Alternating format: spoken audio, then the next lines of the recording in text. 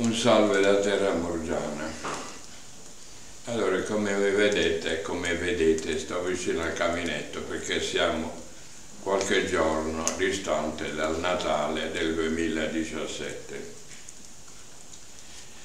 Io ringrazio sempre coloro che mi, scrivono, mi telefonano insistentemente, eccetera, perché non so a chi possa piacere, perché io faccio i miei commenti, faccio le mie chiacchierate ma dopo tutto non è che dica delle grandi cose, dico quello che avviene nella vita quotidiana e che anche voi vedete. Insomma.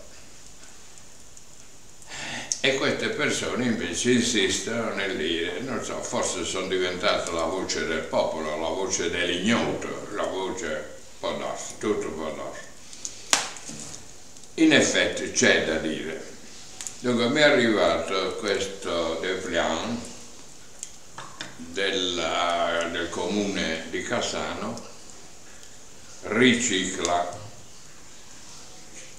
che la Tradeco che per fortuna pare che abbia ripreso il proprio lavoro, il proprio compito, eccetera, perché essendo una ditta locale, ovviamente io preferisco le ditte locali e no le ditte che appartengono ad altri paesi, perché qui c'è la necessità del lavoro, qui c'è la necessità delle famiglie che devono mangiare, quindi ho piacere. E vedo che è stato firmato dalla sindaca Maria Pia Di Medio, vedo che eh, il Briano, l'assessore Briano, Carmelo Briano, anche lui non lo so che mano ha dato, comunque è la la tipologia delle raccolte dei materiali di scarto, i materiali di rifiuto che vengono fatti. Il piano è stato fatto abbastanza bene, le giornate sono state chiarite abbastanza bene, nulla da dire sulle piano. Finalmente c'è una cosa buona a casa. Tutto il resto, beh, tutto il resto non è che mi dia troppa soddisfazione, ma la soddisfazione è più per uh, la popolazione, per coloro che hanno creato l'amministrazione. Non dimenticate che ogni tanto io devo fare blocchizzare il fuoco se non si spegne, anche lui ha bisogno di alimentazione. E allora dicevo che le cose vadano bene, bene, non si può dire. Ci sono molte, molte mancanze Vedete come immediatamente si riprende? Eh, basta un po' di soffiare. E dicevo, non vanno bene, ma diciamo la verità, non vanno bene. C'è una specie di incomprensione tra i componenti dell'assessorato. Non lo so derivante da cosa, non ho ancora capito quali sono i principi che guidano queste persone che dopo tutto i cittadini pagano, perché i cittadini pagano e non eh, 1300 li, eh, euro, lire magari, 1300, insomma pagano i cittadini nulla viene regalato. E dovrebbero fare il loro dovere. Ad onore del vero, quello che più si muove in questi ultimi tempi, sto notando, è Briano, ma Briano si era già mosso nella precedente nel precedente mandato della Di Medio. È un uomo attivo, è un uomo che proviene dai carabinieri, l'ex comandante dei carabinieri, maresciallo, cioè, è un uomo che sa il fatto suo e sa come poter fare bene il proprio lavoro. Gli altri purtroppo lo ignorano, non lo fanno molte mantenute, c'è una serie di cose che praticamente non vanno. Ma adesso chiudiamo la parentesi Cassano delle Voci e andiamo a quella nazionale, il 4 marzo, 4, sì, 4 marzo prossimo 2018 ci saranno le elezioni nazionali quindi ognuno si sta dando da fare, poi si è creato. Qui ognuno deve, sta tentando, tenteranno di superare il 40% dei voti per poter poi vincere. Eh, il 40% non è poco, è piuttosto alto. E bene hanno fatto ad alzare la quota. E quindi sono intese, sottointese, quello si mette d'accordo con quell'altro, pare che abbiano fatto un accordo, extra accordo, formato a tutti quelli che prima erano qualche cosa, adesso non sono più niente. Allora per riuscire a, a mettersi insomma, i vari AN di prima, il solito Raffaele Fitto, il quale prima se ne va da Berlusconi, poi va a tornare a Berlusconi, insomma tutte queste cose che non hanno molta chiarezza e quindi non godono le mie simpatie, anche se le mie simpatie valgono poco. Comunque c'è uno scontento generale a livello nazionale, perché qua si parla delle famose, le pensioni degli anziani, le pensioni sociali, le pensioni... Non si è fatto nulla, non si sta facendo nulla. Esistono ancora pensioni di 200 euro al mese, immaginate cosa uno possa mangiare con 200 euro. Insomma, esistono ancora qua. Ma qual è la verità? Anche l'Inps comincia a star maluccio ma anche l'Inps ha le sue ragioni.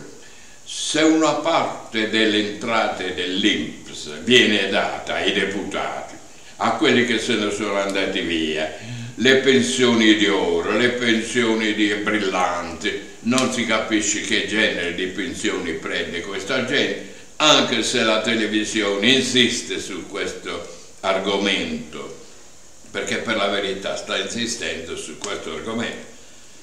E nessuno ne tiene conto, perché quegli stessi che dovrebbero tenerne conto prendono loro quelle pensioni. Quindi come fa uno a parlare delle pensioni che prende? Può mai parlare male delle pensioni d'oro che lui prende, ma non parlerà mai male, sarà, farà finta di dire una mezza pensione. Adesso si usa dire se lo fa quello lo faccio anche io. E perché lo deve fare? Fallo prima tu e poi farò quello ma tutte queste cose non si devono dire. Comunque il Natale è prossimo, ogni giorno, ogni volta si dicono le stesse cose, la gente diventa buona, auguri, auguri, auguri, nessuno dice auguri di che cosa, auguri se quello deve morire, se gli auguro un male, se gli auguro un bene, no, si capisce niente, perché anche anche gli auguri molte volte sono falsi.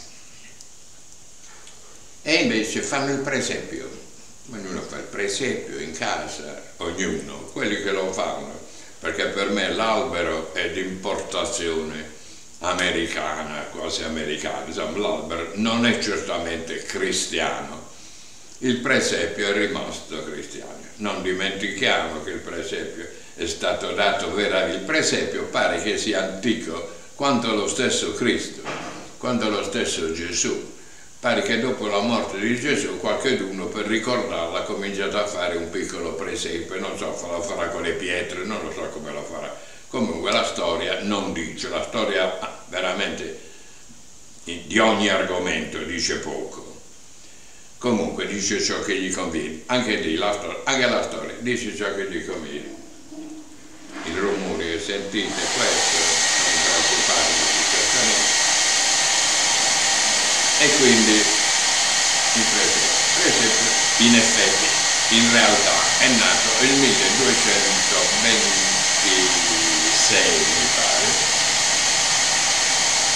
creato da Francesco d'Assisi quando dopo le sue varie peregrinazioni si è ritirato, pensato in occasione del Natale una raffigurazione più, più simpatica, più gentile, più estetica, più ecclesiale, io non credo, più ecclesiale, cioè, allora ha creato il presepio, il greppo, presepio, cioè, praticamente è il recinto che anticipa la capanna, la stalla, questo è tutto. Cambiato nel tempo il termine, oggi si chiama presepio, ma in effetti quello vuol dire, ed è giusto che voglia dire quello, praticamente un pagliaio, il pagliaio dove nacque Gesù. Vabbè, io potrei anche fare la domanda, era un pagliaio di una gente per bene, gente che stava bene, perché per stare un bue e un asinello c'erano già due animali che all'epoca avevano il proprio costo, però diciamo, queste sono pettegolezze che non voglio fare. Comunque io da pochi anni, perché sono un ragazzino ancora, da pochi anni saranno 75 anni, che ho sempre fatto il presepio, lo farò sempre di tradizione, lo facevano, lo faceva mia nonna, le mie zie, l'ha fatto mio padre per anno, lo faccio io e lo fanno anche i miei figli. Sono quelle tradizioni che uno mantiene, forse inconsciamente, può darsi che lo faccia inconsciamente, può darsi che lo faccia per venerazione, per fede, insomma dategli i termini che volete, l'importante è che che si fa. A chi piace farlo, l'importante è che lo fa. Eh, a Gesù, il bambino Gesù, non lo so se si pensa più, se si pensa meno, non so se tutta questa gente buona, la gente molto buona, fa, tutto, fa del bene, fa del bene, molto bene, soprattutto a se stessi, soprattutto quelli che stanno bene, i ricchi, i famosi ricchi, tra ricchi quelli fanno bene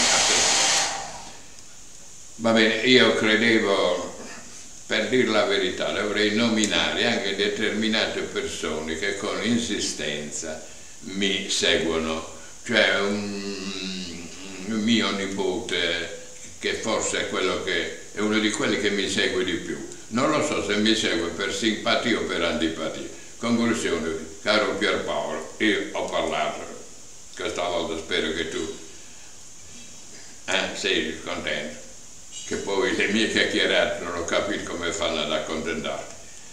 Va bene, eh, sono, ognuno ha i suoi gusti. Dunque, c'è altro da dire, ma non, onestamente non, non, lo so, non, non mi ricordo, perché prima di parlare dovrei dire tante cose poi quando comincio a parlare mi accorgo che di parlare di essenziale, eccetera, c'è poco. Potrei fare un'osservazione su quello che l'altro giorno ho saputo. Pare che i preti locali, compreso quello di, di Cassano, pare che eh, il sabato non dica la messa, pare che si siano messi d'accordo i vari preti, anche loro fanno un po', fanno il sabato fascista anche loro. Dice che non si dice la messa. Io per la verità ho passato una quindicina di anni in curia, ho conosciuto tutti gli arcivescovi e questo accordo non mi ricordo che c'è mai stato. Può darsi che sia un accordo nuovo, può darsi che, sai, dire messa, ben tre messe, chi le dice al giorno è stanchevole, adesso bisogna alzare la mano, bere, la, il vino, bere il vino, e uno si stanca. E allora hanno pensato, dice ma quasi qua è meglio che ci riposiamo il sabato, e anche loro si devono riposare. In chiesa che cosa fanno? Eh, ogni tanto dicono la predica, fanno le riunioni, però in chiesa un vero canto di allegria, una scuola cantorium, non esiste. E ai miei tempi, ai miei tempi, qualche anno fa, qualche anno, qualche decennio, qualche, diciamo 50-60 anni fa, questa roba esisteva. Io ho fatto parte di una scuola cantorium, si cantava nella chiesa, cioè la chiesa è allegria, non è morto, non è funerale, prefunerale, non sono le bizzocche, le cosiddette bizzocche, quelle che vanno sempre ogni volta, non sollecitano neanche il loro parroco che per la verità se giovani, non lo so, questo qua si non lo so, non me ne frega niente, ma un prete ha il dovere di allietare una chiesa, non di renderla un precimitero, deve allegrare una chiesa. A malapena forse fanno le messe cantate, non lo so se cantano, se non hanno più la voce, non lo so queste cose. Comunque io rimango a quella che è la mia fede, io ho conosciuto, l'ho detto diverse volte, ho avuto il piacere di conoscere Padre Pio, Padre Pio tante cose me le ha suggerite eh, perché era un cappuccino, un frate minore, lui si dichiarava minore, per non offendere San Francesco d'Assisi l'umiltà lo portava a dichiararsi un frato minore e lui mi ha insegnato qualche cosa. Comunque, bah, voglio finire, come devo dire, voglio finire in quasi allegria. Potrei mettermi a cantare, non ne faccio a meno, se no vi faccio scappare. Allora, buon Natale per tutti quanti, per chi mi vede, per chi non mi vede, per gli amici e se c'è qualche nemico, pure a lui gli auguro. Che cosa gli devo augurare al nemico? Di essere una persona un po' migliore, l'odio non porta a nulla, i rancori non portano a nulla, perché ognuno di noi, ogni essere umano dovrebbe ricordare che tutto nella vita si compra tutto, il ricco, lo ricco può comprare tutto, la morte